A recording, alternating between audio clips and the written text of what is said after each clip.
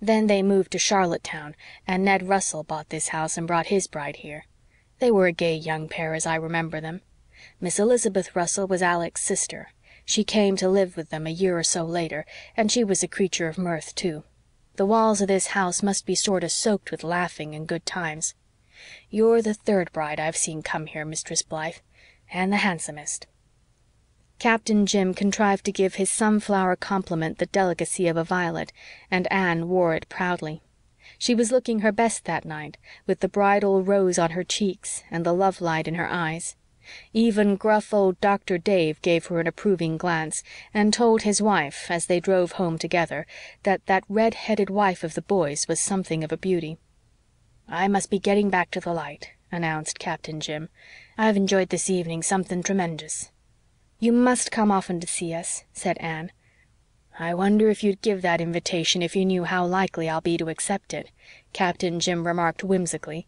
"Which is another way of saying you wonder if I mean it," smiled Anne. "I do. Cross my heart, as we used to say at school." "Then I'll come.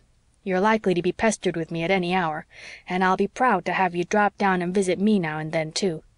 Gin'rally I haven't anyone to talk to but the First Mate, bless his sociable heart.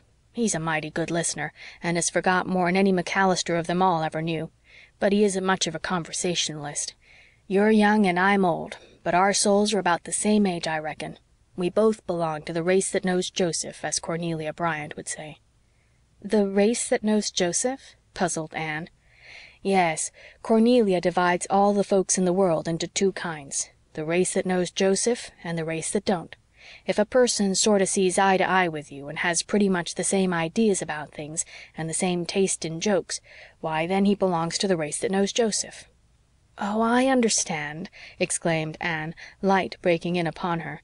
"It's what I used to call and still call in quotation marks kindred spirits." "Jest so jest so," agreed Captain Jim.